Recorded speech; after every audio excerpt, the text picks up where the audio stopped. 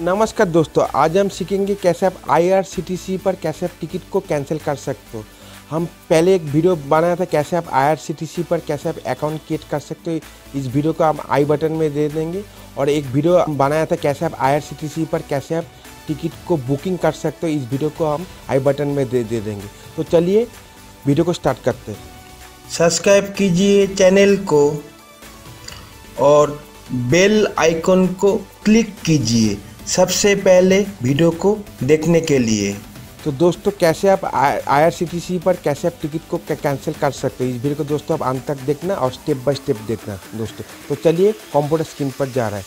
दोस्तों पहले आपका यूज़र नेम और आईडी को डालना पड़े डालने के बाद देखिए इधर में कैप्शन कैप्शन को हर टाइम चेंज होता है। कैप्शन को जल्दी से करने के बाद देखिए साइनिंग हो गया। होने के बाद देखिए, यहाँ पर राइट में एक ऑप्शन है। जाने के बाद देखिए my account my transaction booking ticket खींचते ओके तो करने के बाद जो टिकट को कैंसिल करोगे, हम इस टिकट को कैंसिल करेंगे। ठीक है? तो यहाँ पर क्लिक करना पड़ेगा। क्लिक करने के बाद देखिए दोस्तों देख रहा है कैंसिल द टिकट तो कैंसिल द टिकट में हम क्लिक करेंगे।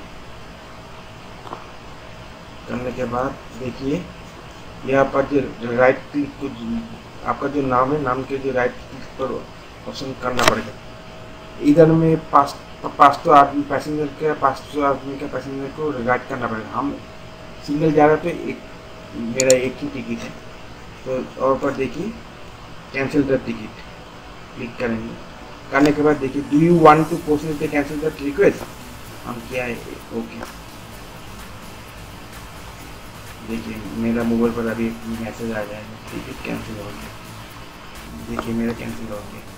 तो दोस्तों आप आसानी से आईआरसीटीसी पर टिकट को कैंसिल कर, कर सकते हो।